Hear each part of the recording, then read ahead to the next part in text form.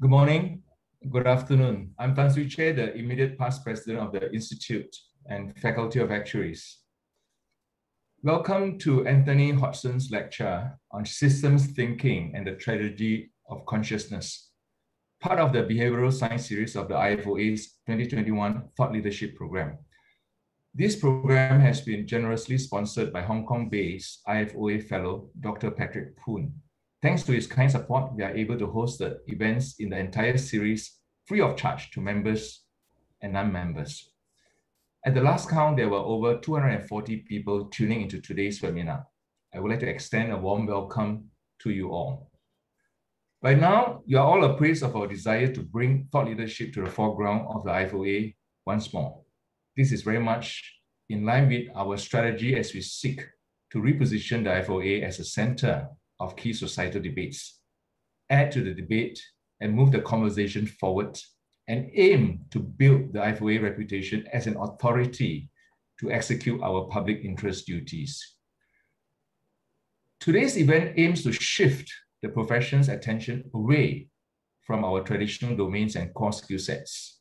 It seeks to engage and encourage the members of the IFOA in a widening of our skill sets and the diversifying of our mindsets to address two critical factors to help bring our vision of a transformed IFOA and the profession to life.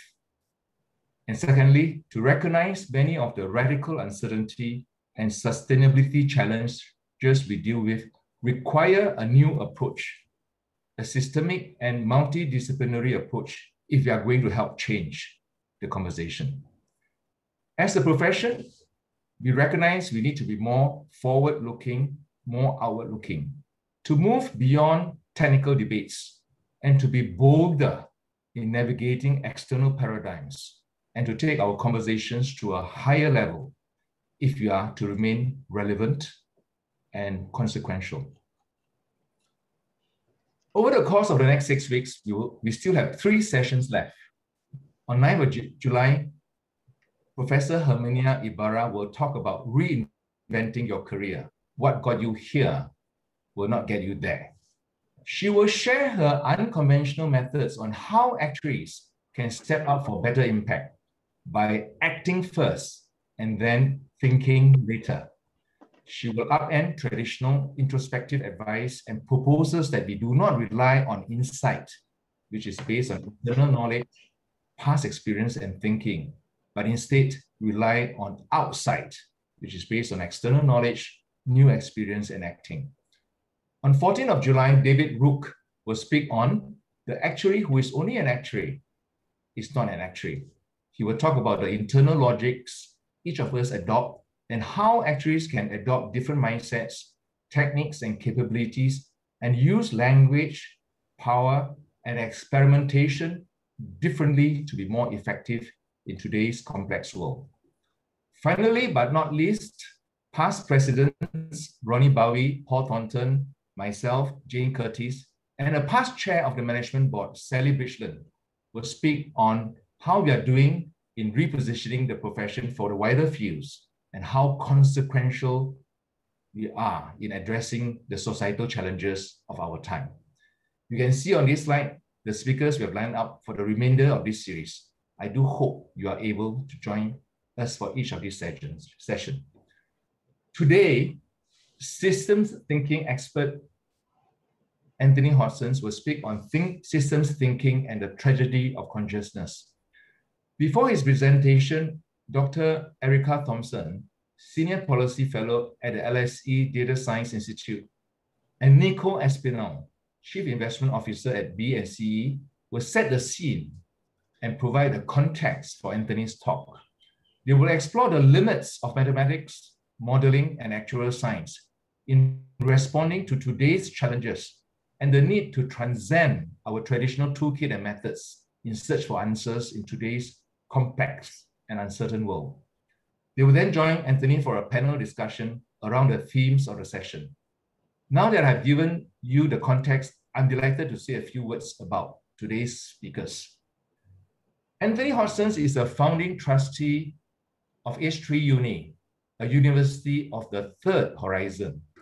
This is an initiative born out of recognition by a small group of foresight and strategy practitioners that today's professions, higher educations, and business schools do not address the huge shift in the skills of collaboration and resilient thinking that are needed to successfully navigate a turbulent world challenged by major issues not previously experienced on a global scale.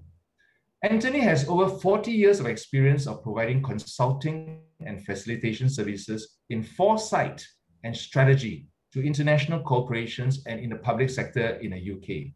He is an expert in transformative innovation and new methods of cooperation. He has a doctorate in system science from Hull University and is, is a research fellow with the University of Dundee, where he is currently doing original work on integrating foresight methods with systems thinking and modeling through second order cybernetics, phenomenology of time perception, and futures method. Anthony will combine three areas of his expertise in an unorthodox way in today's session systems thinking, scenarios futures method, and conscious participation in the present moment in the context of the phenomenology of time perception. In my own words, this will not this will mean not just reliance on facts and evidence, but also on foresight and imagination and the mindfulness and engagement of groups in the expanded present moment. Dr. Erica Thompson is a senior fellow in ethics of modeling and simulation at the LSE Data Science Institute. Erica's research is centered around the use of mathematical and computational models to inform real-world decision-making. She has a deep interest on fundamental philosophical questions about what model outputs really mean and how we use models, models in tandem with expert judgment. Erica gained a PhD in physics from Imperial College on statistical and dynamical modeling of North Atlantic storms under climate change. Nico Aspinall is the Chief Investment Officer for B&CE, which includes the People's Pension, the largest DC master trust in the UK. He is the chair, he is the former chair of the Resource and Environmental Board, now known as the Sustainability Board of the IFOA, and a former member of the council. Nico received a master's in theoretical physics from Cambridge University in 2004. Ladies and gentlemen, you can submit a question at any time via the online Q&A on Zoom, and I would like to encourage you to do so. So with this, I pass the floor to Erica, and then Nico, and then Anthony. Erica, the floor is yours. Thank you so much, Suee-Chieh, and it's a pleasure to be here. And I'm really delighted to be asked to set the scene ahead of such a distinguished speaker in Anthony Hodgson. Um, so I thought since we have quite a mathematical audience, and there are many, many ways of approaching Anthony's multifaceted work, um, I thought I'd start with the mathematics and, and sort of strike one note that maybe Anthony can reflect on. So something that I suppose we've all seen as a challenge over the last decades is that models and mathematics cannot accurately predict the future, or not all of it in any case. So uh, we're all familiar with weather modeling, where perhaps tomorrow's weather forecast is very good, but the weather forecast for next week not so good, and for two or three weeks' time you don't even look at it.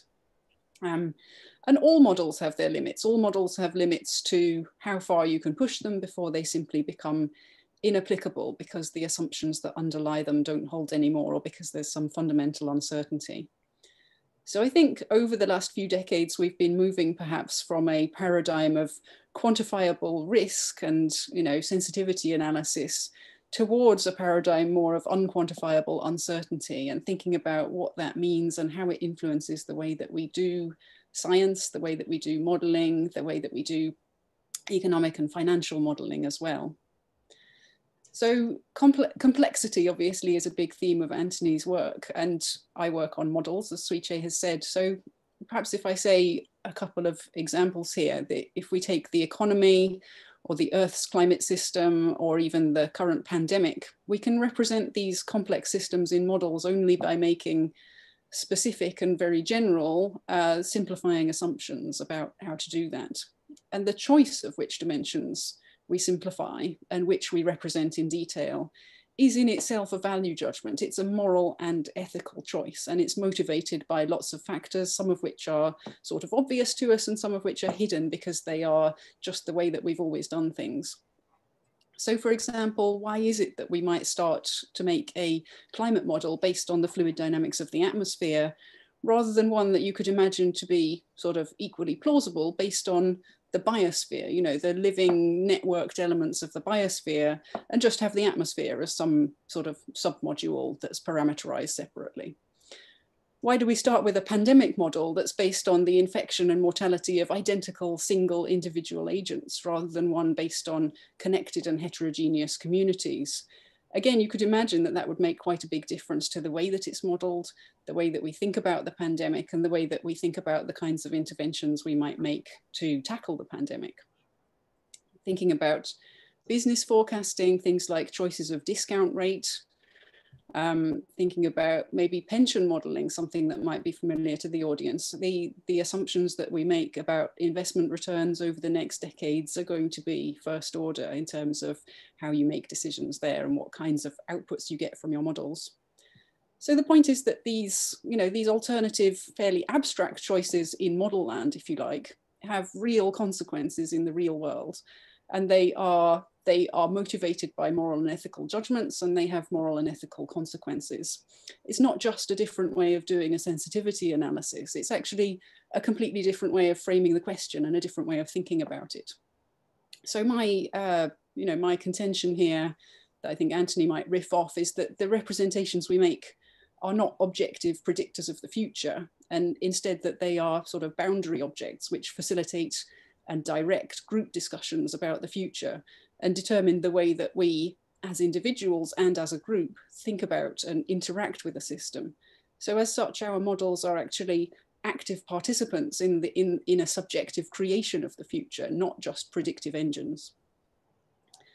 So if computers can help us to calculate, but they can't help us to think, we need people who will help us to think. And uh, I think that's, uh, that's what Anthony Hodgson is able to help us with and to give us some insights here. So these, these kind of multidisciplinary insights from wide-ranging systems thinkers who are taking a multiplicity of perspectives, like Anthony Hodgson, I think they'll be critical to effective risk management on all scales over the next hundred years. So I look forward to seeing what you have to say.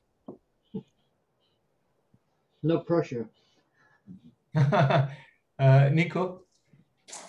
Thank you, and uh, good morning, everybody. Um, delighted to be here to, to uh, help introduce Anthony. Um, and I think for my uh, uh kind of bridge, my, my introduction, I'd, I'd, ask you to think about professionalism and your role as an actuary. So um, I, have kind of framed a question, which is, uh, are we deluding ourselves when we talk about actuarial science, when in fact, being a professional, practicing judgment uh, is an art.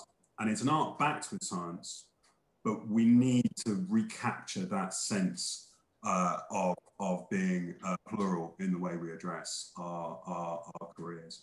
So yes, actuaries use models, um, but is it really realistic for a professional just to be the communicator of an output from a model and to suggest, to pretend that that is the only answer uh, that could satisfy? to me, it, it feels like we can reduce just this very broad skill set of being an actuary to uh, uh, an algorithmic process essentially where the actuary forgets that they are actually responsible in gaining consensus from the stakeholders to, to decide whether that is the right process and indeed to discuss alternative approaches, alternative algorithms, alternative ways of getting to that solution. So there's a risk that actuaries have backed themselves into corners where we're less able or less willing uh, to challenge the existing models rather than uh, the, the, the, forming a process to bring together the stakeholders into deciding how to uh, approach a problem. So we're acting as if we're a player on a football pitch who has forgotten that actually we're, we're also the referee in our roles we also helped to design the game and we will also help to change those rules uh, as we go forward into the future. So how do we reimagine that role of an actuary, moving away from just being a model communicator um, and into the realm of being the referee and designer of the game? as we go into the 21st century, we know that climate change and sustainability are going to be profound challenges. And they'll be more profound if we don't have a cohort of actuaries who are willing to discuss with their clients and their wider stakeholder groups exactly what we think the real problem is uh, and how we intend to go about addressing them. Uh, we do not have data on the future. So the calibration of our models into the future must be much more art than science. And for me, that's what makes Anthony such a fascinating speaker. He, he talks to a number of different ways that we can think about actuarial work, uh, not on the basis of the models, but on the ways we think about the future and the ways we engage our clients with the problems they face and how we support the management of change in a world which is inherently unpredictable. So yes, looking forward very much to, to hearing what, what Anthony has to say. Thanks, thanks, Nico. Uh, Anthony, the floor is yours.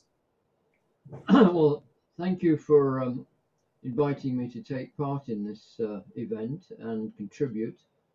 Um, it was something of a surprise to me when I was approached because, uh, as I said to Tan Kyi, um, I would not have put in my plan uh, approach the Institute of Actuaries to give a talk on my work. Um, but it's fascinating now to uh, encounter the um, the kind of challenges that I believe you face, which are endemic and popping up in all kinds of ways. So I I ask your forgiveness if I have already if I've misunderstood certain aspects of your profession. But what I hope to do is to share with you some perspectives that um, will stimulate you to pick up on the themes that um, Erica and Nico have, um, have, have, put in front of you. So I'm not going to respond um, immediately to those challenges because we're going to have a little forum after I've introduced uh, some thoughts and we can um, we can debate those uh, more fully perhaps for a few minutes um, at, the, at the end. So let me just um,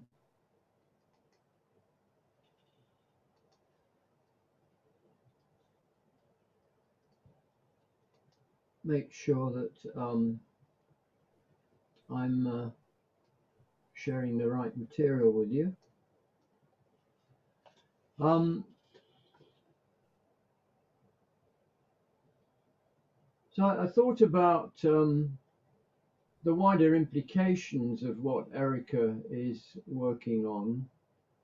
And uh, one of my favorite um, sources is a French systems philosopher called uh, Edgar Morin. And um, I thought this sort of um, was an interesting thought starter.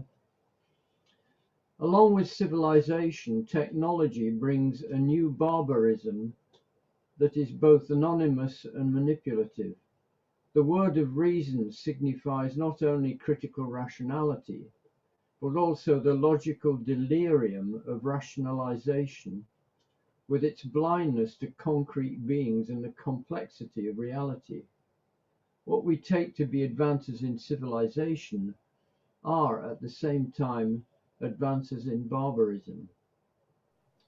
That's a very strong statement of, of what are the hidden assumptions behind the highly technical, mathematical, scientific uh, world that we've been creating over the last uh, particularly 100 years. And from the point of view of the professional angle, um, here's a thought from um, Professor Roberto Poli of the University of Trento, who happened to be an examiner for my PhD, um, uh, an organization unable to grasp new circumstances is an organism that behaves on the basis of stimuli that belong to a previous era. Well, I think you'll recognize there are implications from uh, both of those perspectives. But it boils down to something like this. Um, the way uh, I've summarized it, that um, in the field of particularly of sustainability and the environment and things like the upcoming um, COP26 conference on climate change. Uh, the, the, the term the Anthropocene uh, is becoming current, uh, invented really as a term to say that we've reached an era which has geological scale in terms of humanity's impact on, on the planet and the biosphere. And the two opening points about um, blindness and about um, uh, um, living on the stimuli from the past and not the current situation lead to three tragedies. Uh, tragedy of the commons, which is well known in systems science uh, in terms of the um, uh, uh, destruction of the environment, the tragedy of the horizons, which Mark Carney used that term in his Reith lectures in terms of seeing into the future. And I've added the tragedy of consciousness, by which I mean how are we as aware human beings actually sufficiently aware? So let's let's put ourselves in the middle of this um, triangle um, and recognize that we have an actuarial professional sphere, which Nico pointed out, and within that we have all kinds of tools and methods and procedures and assumptions and computations and so on. And it's fine. It, it obviously works very well. Otherwise, we wouldn't have got to where we are now. But this is taking place now in a vastly expanded complications of the environment, which we simply call the Anthropocene realities. And th those include, just to give a, a quick headlines, um, a lot of geopolitical and economic aggravations. Um, there's the pandemics and, and the well-being crises that that presents in society, and there's the climate and environmental emergencies. Now these can be, we can be well insulated from for a while, but eventually we find that we're in a, an intermediate zone, which you might call the contextual relevance sphere, what is actually relevant to what we're doing in the clients that we work with. And uh, from that sphere, we find ourselves getting shocked that the risk profile is changing. Things perhaps don't fit as well as they used to. Um, as Erica was saying, the we we we, we could forecast um, a, a, a, a year ahead. Now we can only forecast a month ahead, and it's getting down to a week and so on. Those kinds of changes. So we can break that into uh, three um, areas which correspond to the three tragedies.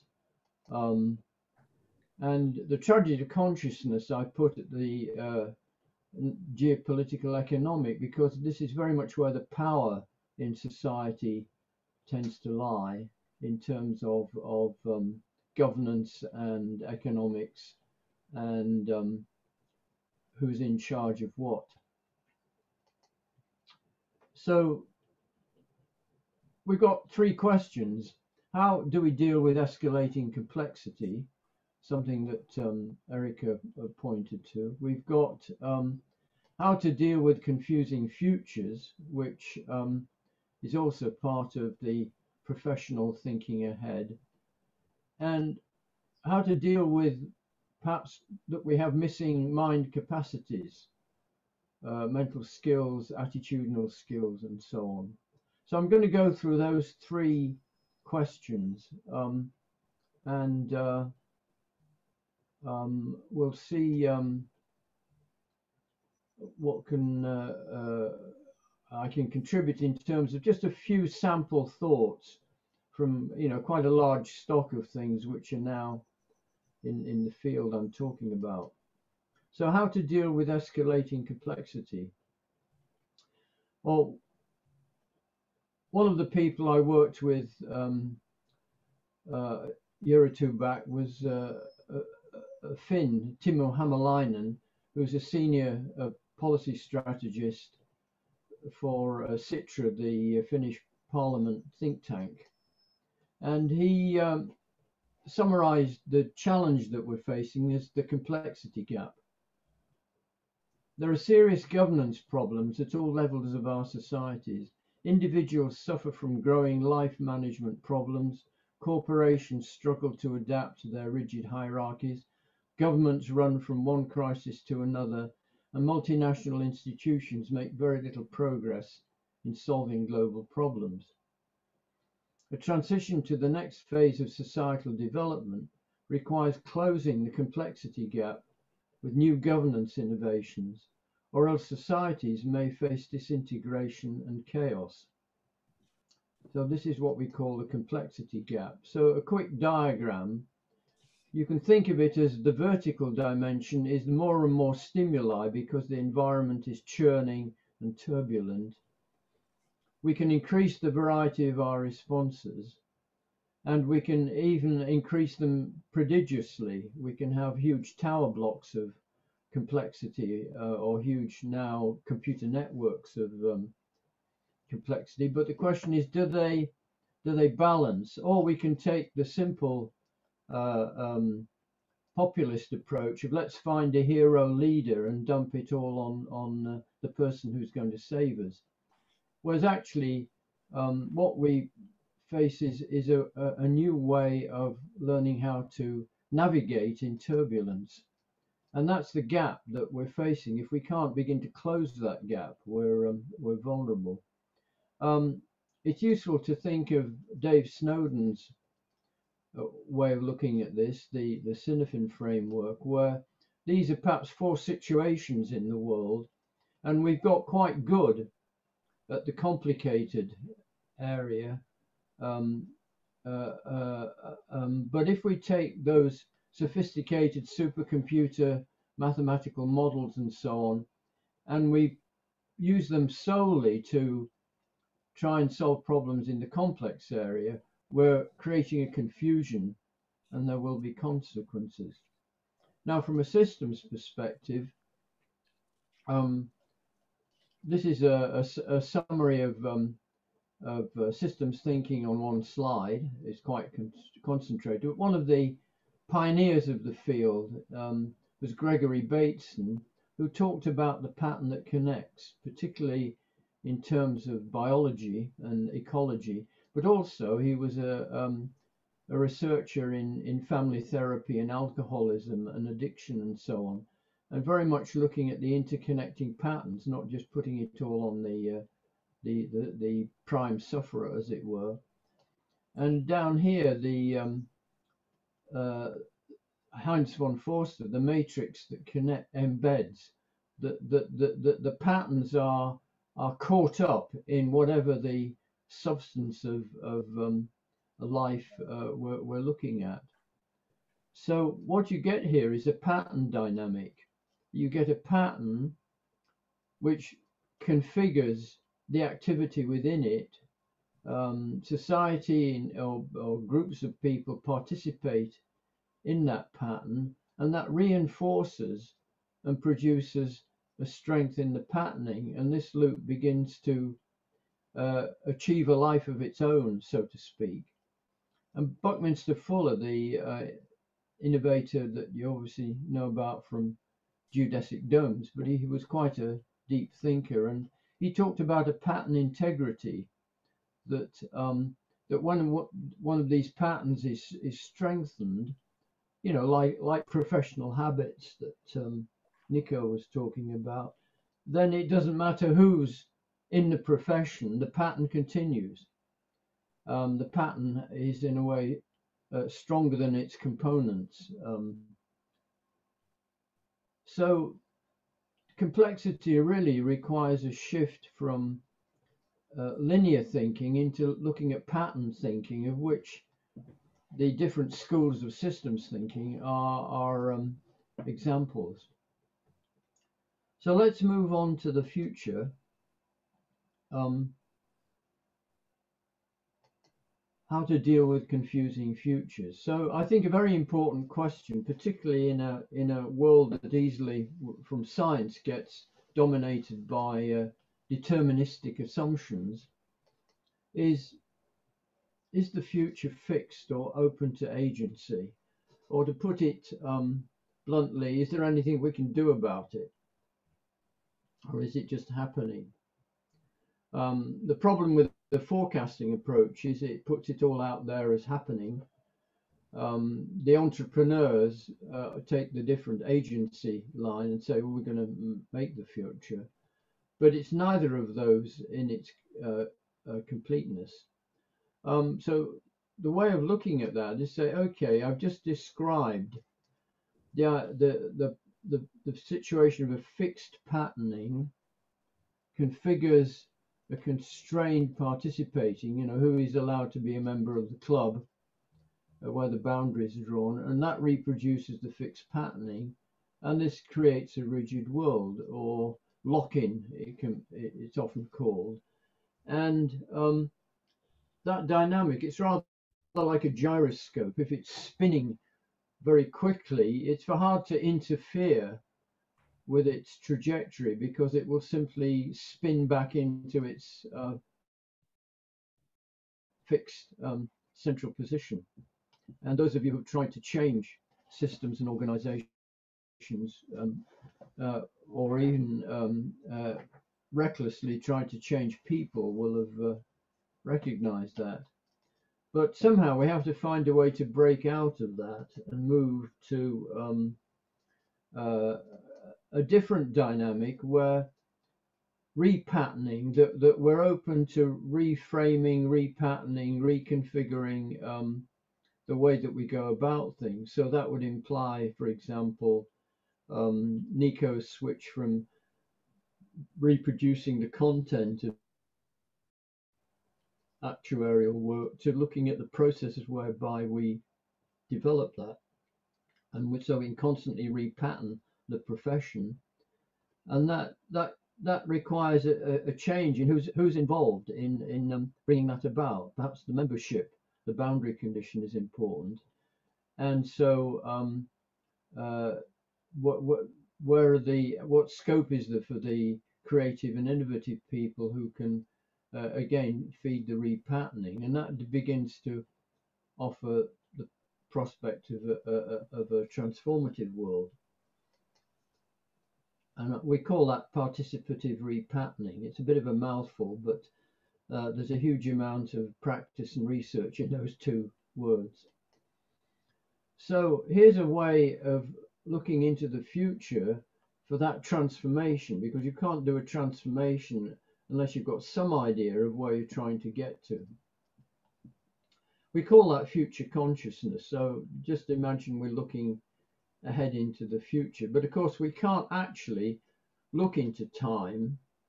Uh, so we tend to use space as a metaphor. So talking horizons is a, is a way of kind of um, uh, get having our minds be able to get a bit of a grip on this.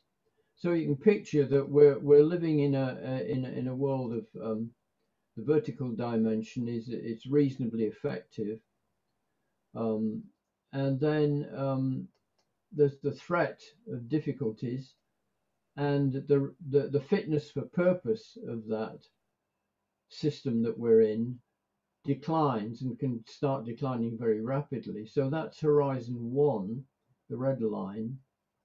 So we need some kind of um, vision of the future um, that may be in the distance, so to speak, but we can make some sort of sh shape out of it. Um, but we're going to have to go through difficult transformational times. So it's helpful if we've got some kind of North Star or beacon on the mountain.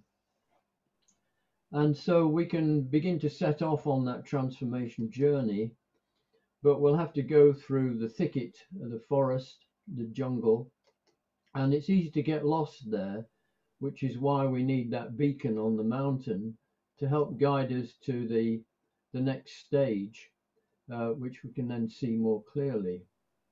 So that's what we, in a nutshell, call the Three Horizons Future Method. And you can see that it has um, forecasting in the sense that the red line is very much about what's almost inevitable um, uh, that we can pick up by analysis, but it has agency as well, which is the the um, in two ways. The green line is the agency of visioning a different or better future, and it's got the Horizon 2 agency. We can do something about it. We can actually navigate that uh, gap.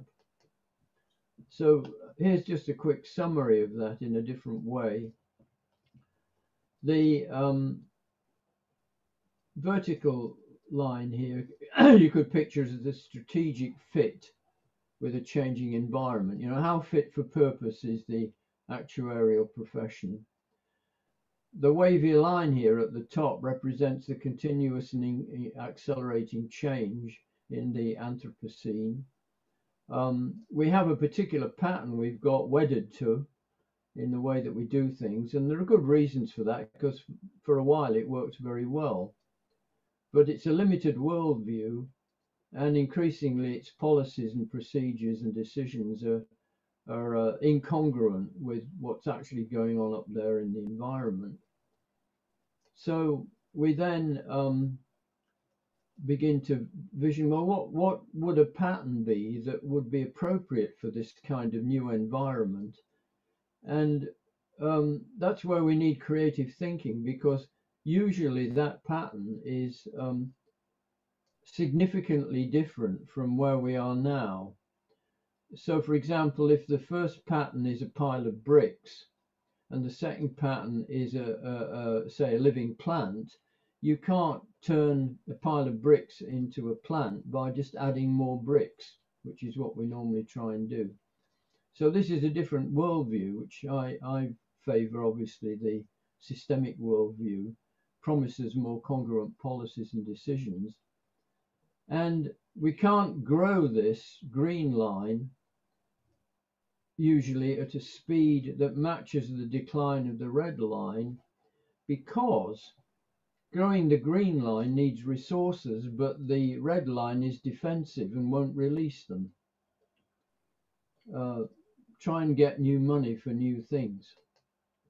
But we can create an entrepreneurial kind of zone, um, which is a turbulent transition. And we've got a paradigm clash, a pattern clash between the Horizon 1 and Horizon 3.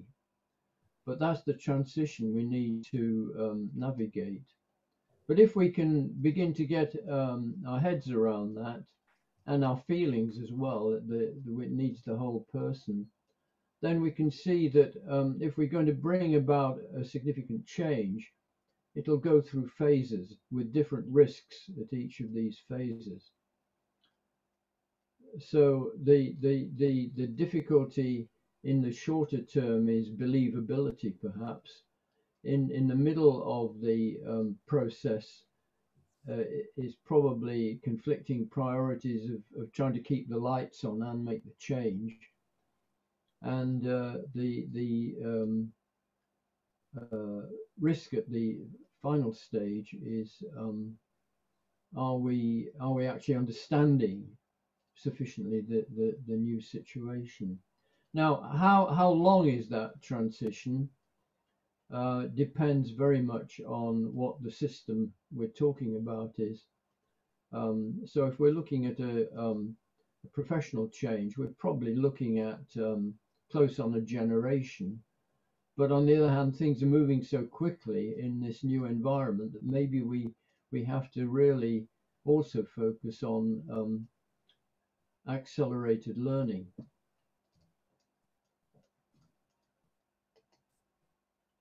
And uh, if we have good ideas for that, we have to be careful because um, these H2 ideas can get captured by Horizon 1 to prop it up. Uh, we can we can see that with the financial crisis in 2008. Uh, quite a lot of good ideas floating around, but mainly used to prop up the same same old system. Or we can have um, uh, innovative ideas that really move us forward towards the third horizon. So finally, let's have a look at mind. Um, missing mind capacities. So the first step, I believe, is to recognize that we're, we're, we're, we're not external to the global system, that there, there, there are, we, in economics, for example, we've used the concept of externalities very conveniently, but actually there is no away, there is no externality. Um, so on the left, you've got the deterministic view that here I am uh, a dispassionate observer looking at a system of interest and analyzing it, deciding what to do about it, and um, and generally, you know, uh, not not part of the system. Whereas in the emergent paradigm, what is called a second order paradigm, um, the, you, the observer, are part of the pattern, and you not only observe, you participate um, as as uh, Erica was saying, you you you you choose a mathematical model and um, compute with it, and think that's outside of you in the left, but in the right, you realize that you have ethical responsibilities as to what sort of choices you're making and for what reason. So um, the old paradigm, we tend to put you know big data first supercomputers and the whole uh, apparatus of um, modern technology without considering the human factor that our, our, knowledge of what to do with the data, our judgment, our wisdom, is internalized in the experience of the user or the applier. And we're participating in, in, in, in this, whether we recognize it or not. So I've summed this up in my research as something I call the anticipatory present moment, the APM. And um, it would probably take um, at least a half day uh, seminar to begin to explain that, except that I, I thought I could pick one aspect of it that would um, give you a chance to get a hold of it. So let's try this out. Okay, the circle represents now. And it implies a question. Um, how big is your now? Is it a little now, what um, Professor Poli called a thin present moment? Or is it embracing a bigger range, um, uh, the thick present moment? But yet, the present moment doesn't exist without you. So you are a, a, a, patterning system. And the key thing for the transformation of that patterning is your own self-insight. You are the starting point of transforming um, the, the uh, situation. Um, there are different influences that come to bear on that. Um, the traditional ones, of course, what happened in the past. Um, where we get the data from, uh, empirical knowledge, uh, we like to call it. And also we've got um, inherited forms, you know, our, our, our, profession is structured in a, in a certain way. And we, we juggle with that in the first paradigm, but in the second paradigm, we're open to um, uh, disruptive ideas like there are other ways of knowing the future than through data. Um, there are other ways that um, creative insight can emerge. So, for example, we can be more aware of um, what my futures um, colleagues often call the sort of looming future, the kind of things maybe 10 to 15 years ahead that we we know are there, but we can't put our finger on directly.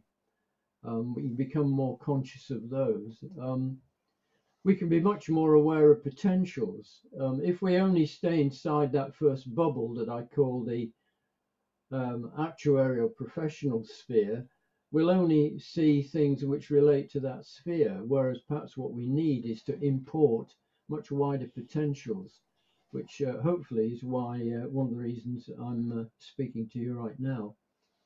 Um, how do we how do we improve our search for potentials? Um, living commitments. Um, uh, just because, say, the profession needs to transform, transforming is not the same as throwing away. So there are certain historical, uh, really important values and um, aims and traditions in the profession that are, that, that are not to be jettisoned, but perhaps repolished and re refined and repositioned. And then perhaps the most important one is what have we not thought about yet? I know that that Rumsfeld, who is, uh, as you know, just passed away, was uh, often uh, ridiculed for his statements about the future, but I think there is a, a, key point that there are unknown unknowns. And do we actually send out exploratory expeditions uh, like we used to when we were trying to find out what the planet Earth was? You know, what are the what are the mental expeditions that we need to make, which are more more creative and more bold often than than uh, conventional research. Um, I, I, I belong to a network of researchers who have all been thrown out of academia because we we we challenge the paradigms, uh, which is why we've got our um, little uh, fledgling university that does it differently. So um, here's our actual span of consciousness. Um, and um, uh, perhaps in this new Anthropocene challenge, we need to stretch that. And we need to recognize that although that's a personal, individual thing at the start, it's also a collaborative thing. And one of the things that second order cybernetics points out is that you, you've got to have conscious participants, you've got to also have a community coherence and you've got to have a new resonant language for that to take off. Uh, now that's a bit complex, but Heinz von Foerster put it rather neatly like this. Like chicken, egg, rooster, to have any one, it is necessary to have all three. So I've taken you on a quick tour around the possibility of uh, ideas, tools, approaches and I've given you just an opening gambit on on on these um, in in all three areas, and um, uh, there's there's more that could follow, uh, which um, so I, I just slip a little commercial in at the end. So thank you. I've I've um, now. Um, uh, Anthony, uh, thanks for such a clear exposition uh, on some very profound and different concepts uh, in dealing with complexity, in dealing with the future. Uh,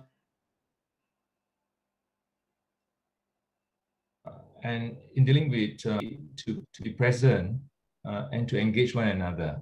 Uh, I, I, I thought that one way to start is to ask Nico and Erica whether they do have any questions or to ask uh, what resonated with them. Uh, and, and in particular, I, I was curious uh, for Erica when she talks about the limits of modeling and the limits of mathematics. Uh, how does this walk around the bigger issues help?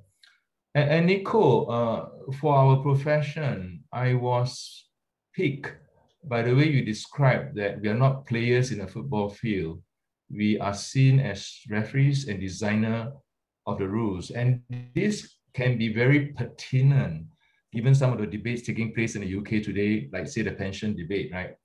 So how do we lift uh, our sights higher uh, and get a more security in terms of looking at all these issues beyond our traditional strengths. Uh, so maybe uh, Erica, that's how I frame it. Uh, I have questions of my own, uh, but uh, and there's a an, there's an excellent question in the, from audience as well. But let's just talk amongst ourselves for 10, 15 minutes. Erica and then Nico and then Anthony can respond. Uh, yeah, yeah. Okay, fantastic. Thank you both. And thank you, Anthony. Um, Yeah, maybe just to pick up on one of your later points then, um, you mentioned Donald Rumsfeld's unknown unknowns and the sort of the concept, what have we not thought about yet? Um, maybe the pandemic is an interesting example of that because the, you know, obviously to some it seemed like it came completely out of nowhere, but actually pandemic has been at the top of the Cabinet Office risk register, for instance, for, you know, several years now. It was clearly expected and yet there's you know so i suppose there's a question of what is it that we we know they're the kind of known unknowns but we're not incorporating them you know we are actually actively denying the possibility of something happening or ignoring it or neglecting it or and perhaps there's something to say there about the role of sort of probabilistic descriptions which, which might say well this is possible but it has an incredibly low probability and therefore i'm just going to ignore it versus mm. a kind of forecast you know foresight or impact based thing of saying well this is possible and perhaps you know maybe it doesn't make sense to actively put it into any of my models for the next 10 years but i need to be thinking about it kind of in the second order as a as a sort of question of robustness to these possible but low probability but high impact events. Um, so i wonder maybe if you had any reflections on that. I think we've seen for instance in in climate as well. You know, things happen like the Canadian heat wave just just this week. Um, things happening that are dramatically beyond what's been predicted in models. Now, of course, what will happen is we'll go back and we'll rewrite the model and and find the mechanism that contributed to this happening, and therefore it will be predicted in the next generation of models. But that doesn't help you in terms of predicting it in the future or the next thing that's going to be the unknown unknown, the thing that comes up on you that you didn't expect? Okay, before we open too many doors, I, I think uh, uh, maybe let Anthony deal with it. Uh, Anthony, maybe you want to link uh, her question to another questions we have, which is, uh, are we not conscious of the risks we live in, uh, or are we just being mechanical? And your implication of the assertion of tragedy is that human beings are not conscious. So maybe you could take us to that space, linking uh, what Erica asked about why certain risks are not registered. In fact, they are on other people's mind, uh, but somehow it's not real. Yeah, uh, Anthony.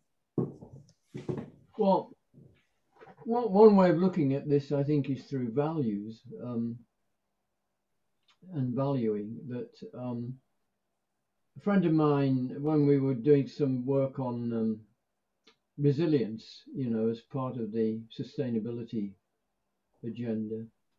Um, summed it up saying, in our culture, we take the resilience premium as profit.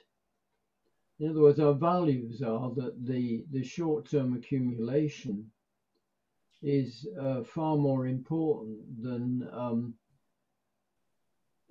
you know spending our resources on things that have a low probability of actually being um, used or, or, or, or effective. Um, and that's part of the, the mechanism of the tragedy, I think, is that we, we one of the reasons on that little three horizon diagram, there's this gap in the middle between the crossover between the red and the green, is because the values and motivations and ethics in horizon one are stuck in a pattern which even if you've got the data, as you were saying, Erica, um, uh, I mean, I was doing um, uh, modeling exercises with the um, here with the Scottish Health System, where where pandemics was very high up um, back in um, 20 years ago, at least. Um, and it was clear from from climate change that um, that there'd be more and more biological hazards getting released from uh, uh, and so on, uh, and the the, the the the the the exercise I was doing is to help a director of public health shift the conversation to this wider field rather than its microbes. Because if you just look at it as a microbiologist or a virologist conventionally, you, you, you, you're not changing the, the valuation of, of, of all these other surrounding factors. Um, and the other thing is if you block the creative bit, uh, you're stuck in, in, in, in, we're stuck in the mindsets where it's either this or it's that, and you can't have both. Now, uh, there's something we use in our work called dilemma method, where it's uh, the, the metaphor is riding the bull. You have to take both horns of the bull, and it's very difficult to stay on it and ride it. But if you can, you can you can have both that there's no reason to say that if you do the prudent things for low probability severe occurrences, you can't still have a have a reasonable you know standard of living or something. Um, um, so it's it's um, uh, I don't think uh, statistics might tell us what the problem is, but it won't solve it because there's something about human nature that we haven't and I think that's what makes it a tragedy is is that we're just um, we could have fixed it, but we didn't bother. Uh, uh, Nico, you want to um, engage uh, Anthony on your what you said and what what you find most resonant uh, uh, in the framing you, you you did earlier on. Yeah, absolutely. Thank you. Um, so for me, I think that pattern dynamic piece really speaks to very important uh, important thought around how we get locked into a kind of feedback loop. Um, I was going to propose, I'm not sure metaphor is the right word, but like uh, an isomorphism, so a mapping from one kind of mm. context into another of models. So that, that a pattern is a model that we get locked into, and also a language. So we use words with a specific meaning set to represent numbers and formulae, and that, that is all contextually patterned in different dimensions. So I think, the, the, the question you very deliberately asked me was how do we kind of set our sights higher? So I think the ability to kind of step out of that pattern in some way and get onto the uh, uh, the repatterning and the open participation. I think that's that's the critical piece and there's almost a memory, isn't there, of a, you know, there was a time when there was, you know, just a field. And I'm pretty sure it was we as actuaries who wrote out the lines on the sides of the pitch and wrote down the rules of the game and then decided to call together um, some people who were probably already doing things and call that the pension system or call that the insurance system. Mm. And, and we have to go back to actually there is another field that we need to go and write and I, and I think that's two things. So one is enabling people to go off and do that and welcoming that challenge. And that's probably a responsibility of the way. And we call that thought leadership. And, and you know, we're making great strides. I guess the other side is the not holding us back to some extent or not being too embedded in that pattern. I think you know, what proportion of people are going to be designing a new game or a new field is going to be a small proportion compared to the number of people who are playing the existing game. So there's some sort of interesting balance there, and that's where that's where the, the three horizons really resonate with me.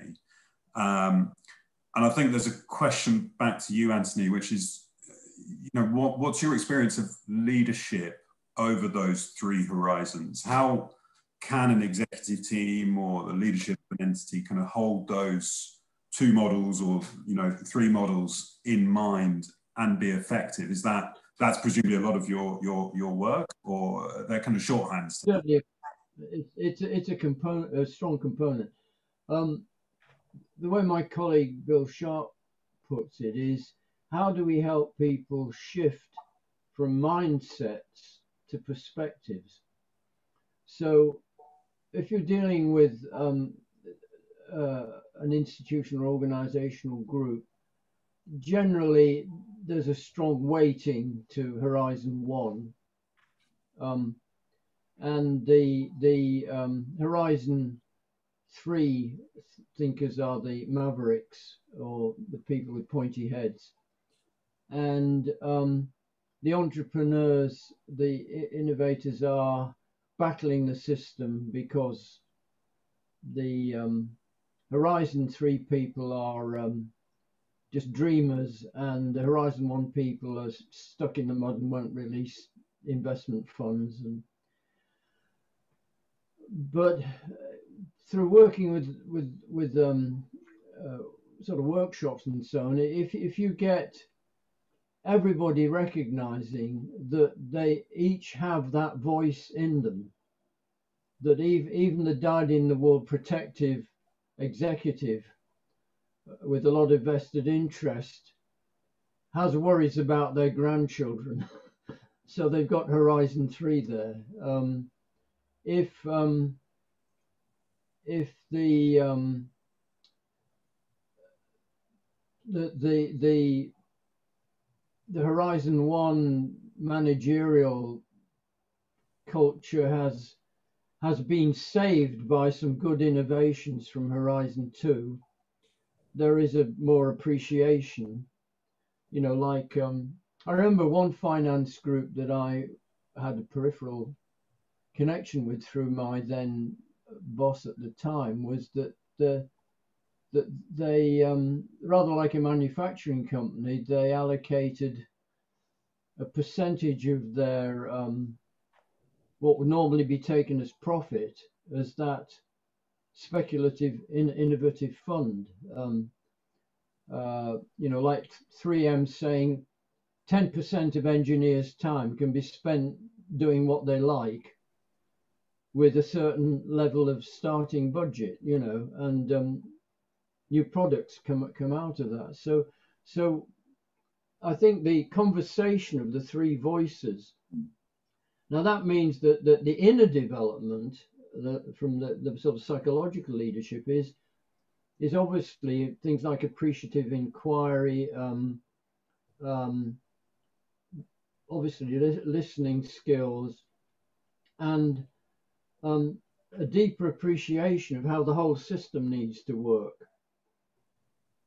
Uh, the, the, the risks of tuning out the other perspectives becomes more um, in, you know evident and intense um, and also it's more fun you know that's you know we shouldn't forget that that um, oh i'm free to think oh that's interesting you know i haven't had a chance to do that for a while it, you know it, it's it, it's an exciting journey as well. Anthony, uh, start. There's a lot more, obviously, we could go into there in the group dynamics and so on, but uh, it gives you a kind of feel of, of think of it as three voices that need to have a conversation out of which emerges the new potential.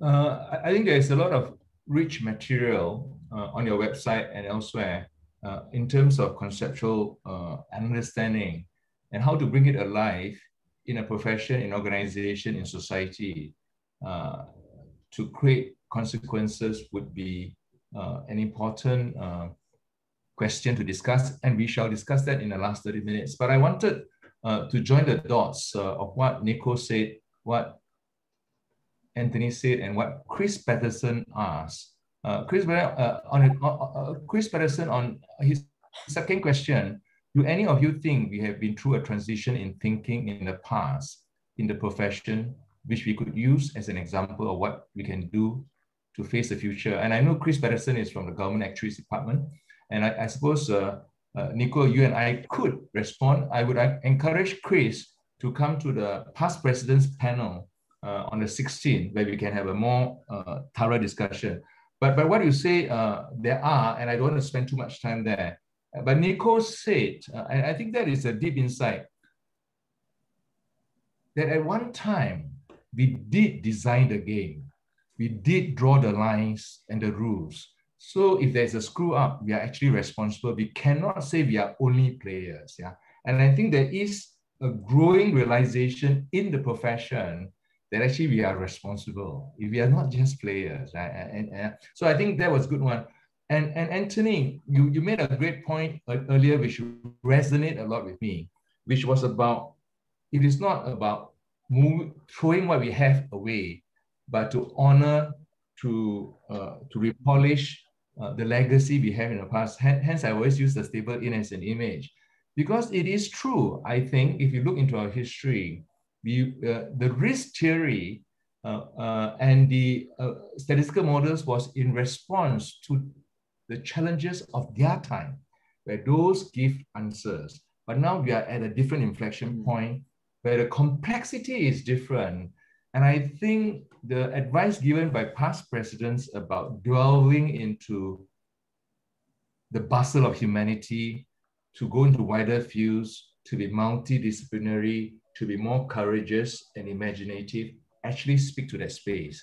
So we do not cling too hard to the skill sets of today, although they are still very important next week, but somehow opening the box. And I sense from the conversations we are having in different parts of the profession uh, that we, we could be, if we listen hard enough, we might be able uh, to help find a way out. Yeah.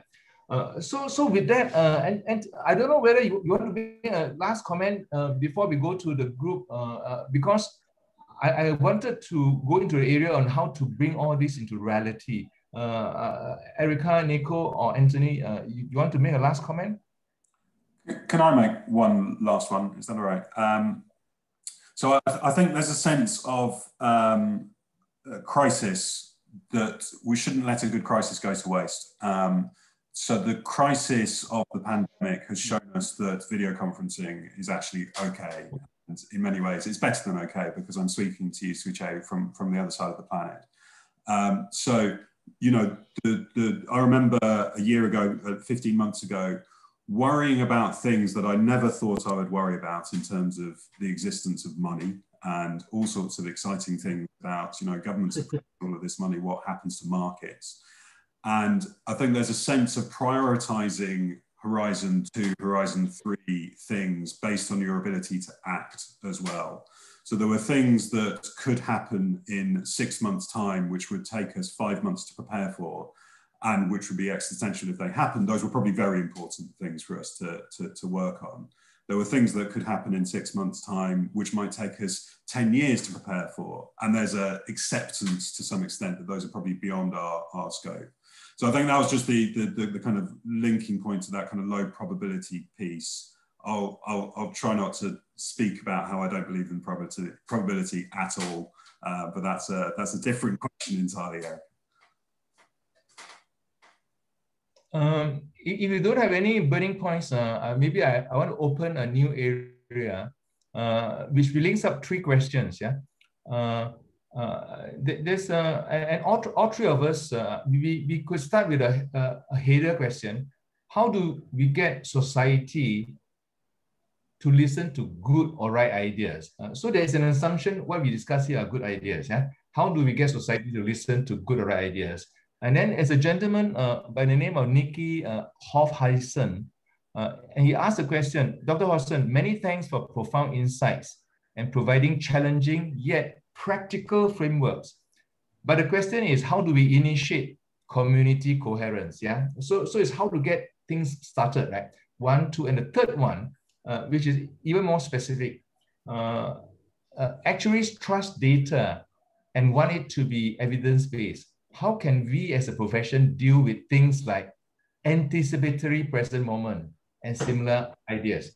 Uh, so, so uh, if I to summarize, uh, we are familiar with things we are familiar with, uh, uh, and to go outside, uh, how do we do that? How do we accommodate that? And how do you jumpstart a conversation about the football field when we are just playing in the field? How do we jumpstart? How to redesign the game when we are actually playing at the same time? Yeah, if I, if I use this as a metaphor analogy, um, Anthony, uh, you didn't use the word reflexivity, you know, so uh, I, I uh, because that word came to my mind when when when I saw some of the questions. Um, uh, the floor is yours, Anthony. Um, yeah, how do you reform the world? Uh, yeah, I'd like to find somebody who can tell me. Yeah, um, I, I I think um,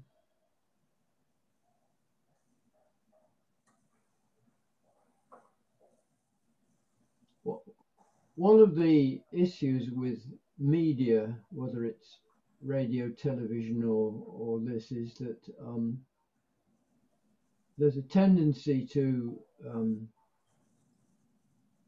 for us to feel that something is going wrong if there's silence. So I just caught myself then.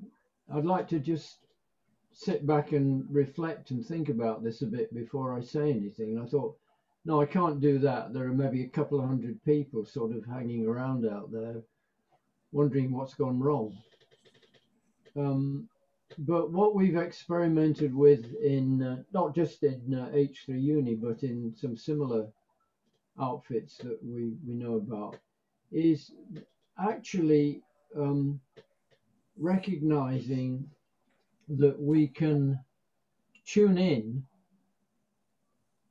by sharing silence with visualization, even over the internet in Zoom. Now, I, I was a skeptic. Uh, it was only the, as Nico uh, hints, the the extreme pressure of the of the pandemic that said, well, you know, what else can we try?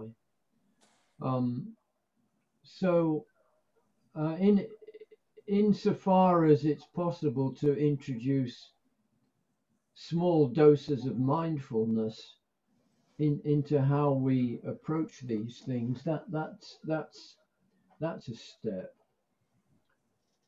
The same thing. The reason I'm so keen on on these um, models is in a different way from the way they're used in in in say mathematical modeling.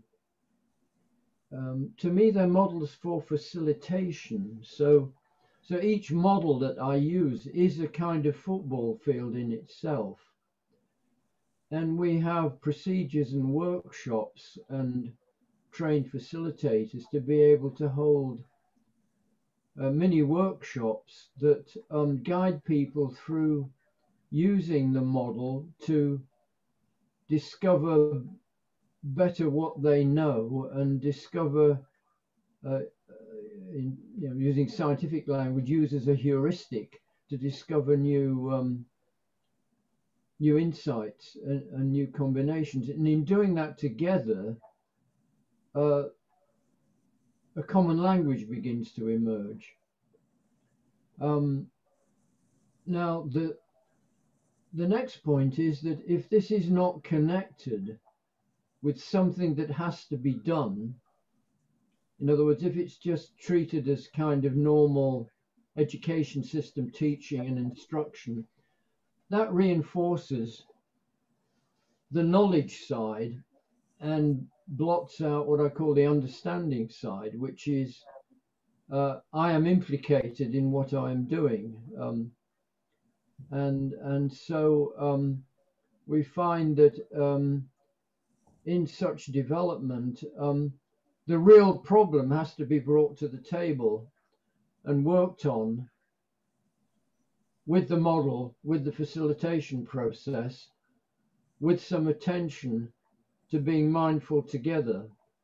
So, for example, um, um, but my workshops, um, you know, people from New Zealand to California taking part, and I, I, I insist that if anybody um, participates in them, multitasking is absolutely forbidden that that people not having their visual on the screen is not not the way it's done. We have to be able to see the body body language and facial expressions, not not not not not not in the sense of studying them, but just in that subliminal sense that we all have because we've you know we meet we're social beings. Um, and by bringing those things together, perhaps we can create little microcosms where where this sort of change can can can get started. Um, but if if I'm being asked, how do you change society?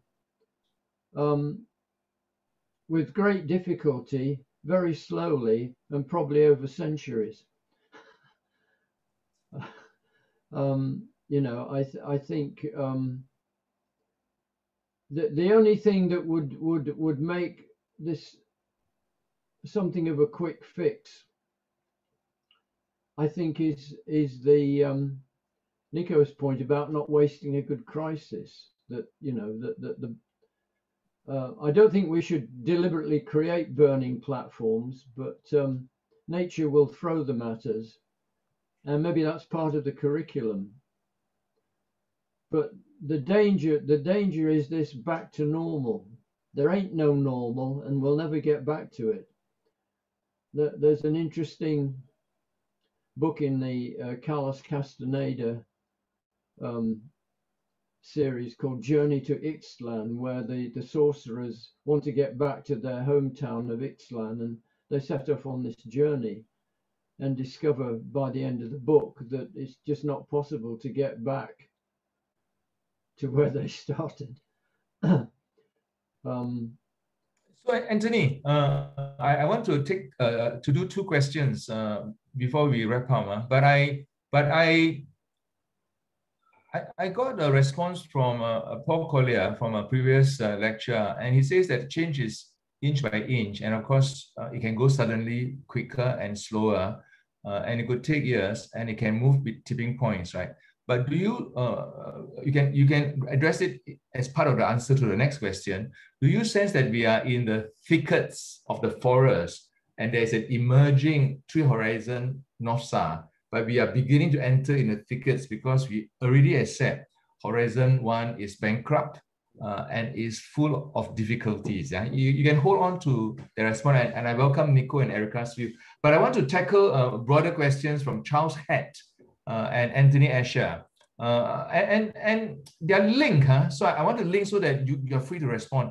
Uh, Charles uh, basically say we should be evolutionary and not revolutionary. At the same time, uh, we be experimental uh, and we be safe to fail. But how do we speed this up? Yeah. So his, his question has a, a lot of contradictions and paradox. Yeah. And I think that whether we like it or not, we might move into politics. Yeah. Uh, Anthony Asher uh, from Australia, uh, South African actually, uh, with Steve in ethics, uh, asked uh, the extent uh, uh, what, what is the extent of the tension between short-term and longer horizons? Is it intellectual, moral, or political? And to the extent that is political, how can we escape as a profession, I assume, uh, partisan politics? So there's one, there's issue about pace, uh, evolution and pace, and we're to do quick evolution quickly, highly paradoxical. And, and uh, Anthony Asher basically says that uh, can we avoid uh, partisan politics? Yeah, is there a, a, a different way to do it? Uh, we don't have to agree with his assumption, but that was the question he asked. And and hmm. and I don't know, uh, Erica or Nico, you want to respond first before we pass it to Anthony? okay, Nico, you'd like to have a go. I mean, I think I was going to comment on. I was going to comment on both of those questions. So the um, Evolution or revolution, I think, are subjective words which depend on your standpoint. So uh, we've seen in the last, uh, what is it, three months or so, that the Delta variant became the dominant uh, form of COVID in, in the UK. Um, and we're now waiting to see whether the Lambda variant is is that evolution. I mean, that's that's that's exactly what uh, the scientists call it, but it's quite revolutionary if you're an alpha variant uh, COVID microbe and you're you're you're hoping to survive into the future. So you know, if you're outside of the pension system and you see it as the game of trying to retire uh, before you die, then you know any change from DB to DC to state pension, those are just incremental evolutionary changes. If you're in the system and it is your job that is being changed and all of the assets of a huge institution, of course, that's revolutionary. So I, th I think that's a sort of standpoint question. And to a large extent, obviously, the bigger systems are harder or more damaging to have revolutions in. So climate change as a revolution over a very long time horizon or an evolution of very small integration of the, centigrade every, every year. Uh, you know, the, the, the, smaller system, the easier it is to have a, a kind of a revolution which sort of um, can be resurrected from, from outside of the system and, and, and the, the, functioning kind of be restored. But yeah, so I think the answer is both. Um, and to some extent, standing outside of the system we're talking about is the, is the best way to kind of make the, the observation or the decision as to, to kind of what those are.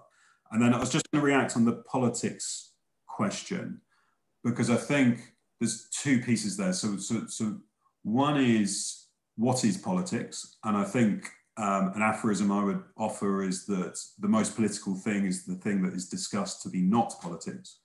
Um, so the conversations which are excluded from our parliaments are probably the most political conversations because they have no voice.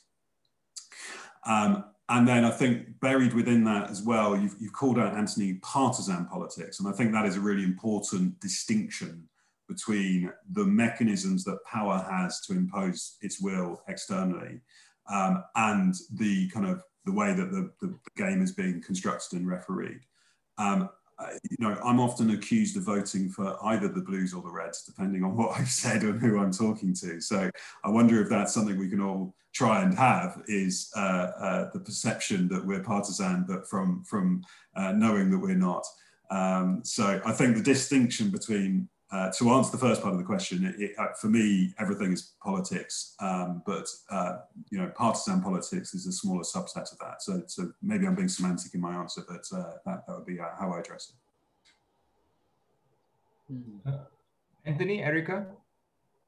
Yeah, so I come in then. Um, I, th- I mean, you said, uh, Suee-Chieh, that actuaries trust data well, then here's some data that there's pretty good evidence from science that evidence is not what changes people's minds and it's not what changes people's mindsets. So, I mean, thinking, for example, of the, the financial system, you know, there's been um, crashes multiple times. They're still doing the same old thing, you know, the same old things that lead to these problems and will lead to them again, uh, inevitably. So transitions in thinking don't rely on data, they don't rely on evidence does information lead to chaos? Perhaps if we interpret it in the wrong way. So, I mean, the kind of evolution, revolution, chaos, I think, as Nico said, it's a matter of standpoint. For some people, the future will be chaos, and for some people, it will be very comfortable. Thank you very much. And the question is kind of how do we how do we construct a political economy that can help to bring as wide a range of voices into that as possible so that everybody feels like they've been done well enough by the system. So again, it comes back perhaps to what Nico was saying about changing the rules, you know, rewriting the rules in a de democratic and sensible way. But maybe Anthony would like to say more about uh, if transitions in thinking don't rely on data, what is it? I think that comes back to the other question as well. What is it that does spark transitions in thinking and changes to mindsets? Okay, we're in the last eight minutes. I'm going to pass the floor to Anthony, but before you, you do that, can Nikki uh, flash the QR code uh, for feedback survey so that people get a chance to do it before before uh, before 10.30, before you go for your next meeting. Yeah, just do a QR code. It'll be sent to you as well.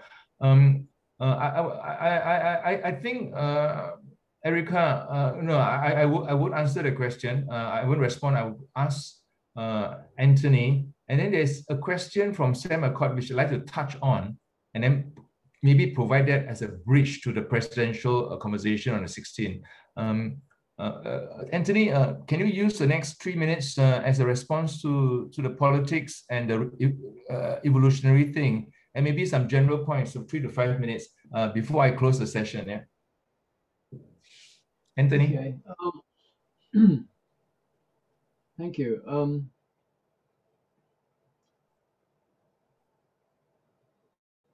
what we've learned about um, complex systems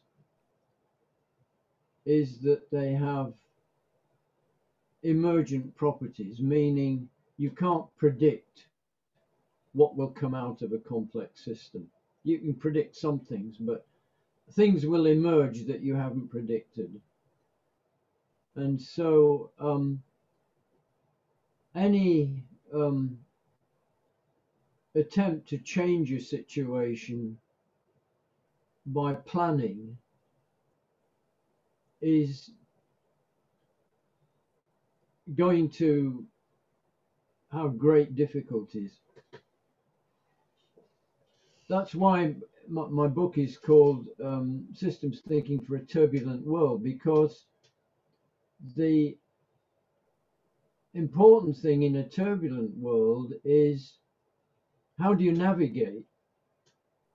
Um, if you've got a, an ordnance survey map, you can plan your route, and provided there aren't unexpected roadworks or um, revolutions in the street or something, you, you can plan your route.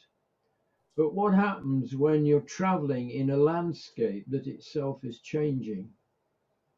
Uh, you need very rapid navigation system where you're constantly picking up signals and, and adapting and you need um, you need an all-terrain vehicle uh, you know that can go on land and water and ideally fly as well um, to, um, uh, to, to to be effective. So um, part of the difficulty is that our institutional structures are very much based on the, the, the mechanics of, of um, top-down thinking and manageable linear processes, whereas actually the real world is, is um, a tangled pattern of complexity.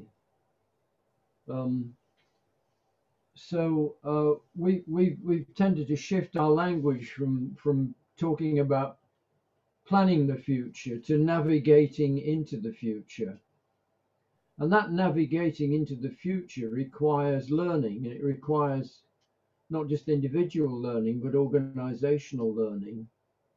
And when I worked with, um, particularly closely with Arie de Geus, the head of group planning in Shell for a period, um, he, he actually uh, managed somehow, I don't know how he did it, to wangle um, a few million dollars to put into um, a, a, global survey of the best that was understood about learning and um, try to approach strategy as a learning process.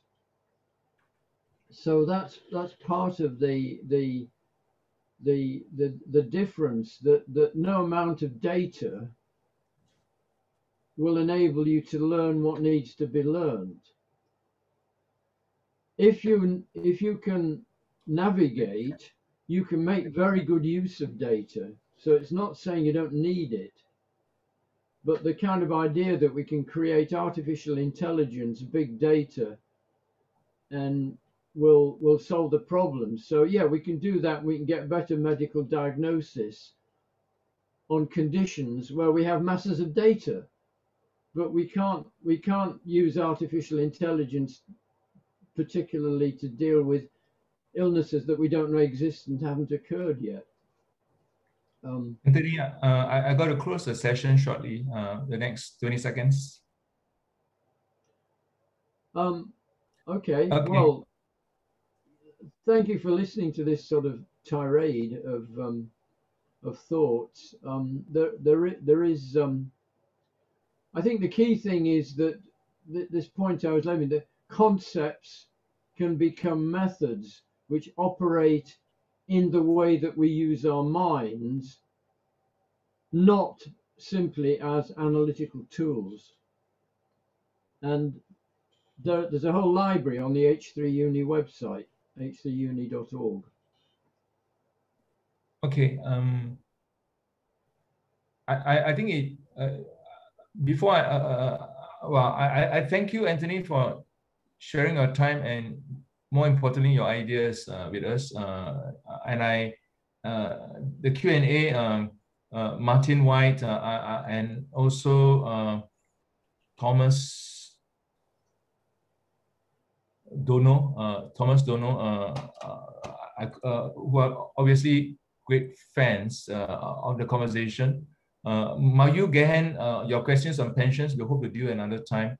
Uh, and uh, Sam Accord, your question on on how IFOA could engage more horizon horizon three thinkers. Uh, maybe we could roll it forward to uh, the the the July 16 conversation uh, because we got but but you see clearly we are we ourselves are a pluralistic organization and all of us have different things and the ability our ability needs to engage and to listen to this and to create a space where we can have deep interest uh, is one of the conditions uh, which we need to encourage and inculcate.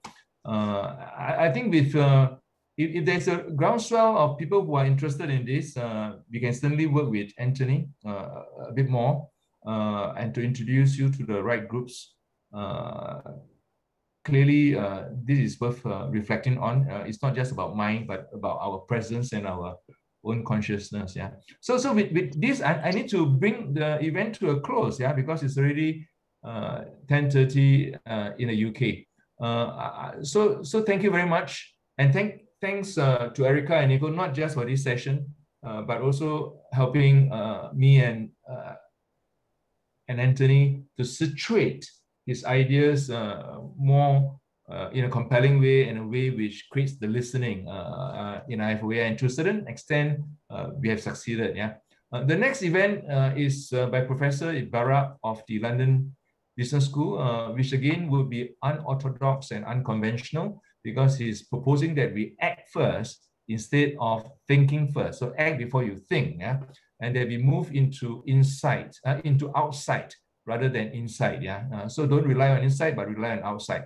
So if you if that piques your interest, uh, I would encourage you to come and and and she will be uh, and the panelists would be our our new IFOA president, uh, Louise Pryor and Hash uh, who's an actuary uh, based in Malaysia, who has an interesting career as well. So with that, I it concludes today's event, and I thank all of you for attending, and, I found it to be very engaging. Uh, thank you for your participation. I will see you uh, at the next event at uh, uh at the Professor Professor Ibarra session.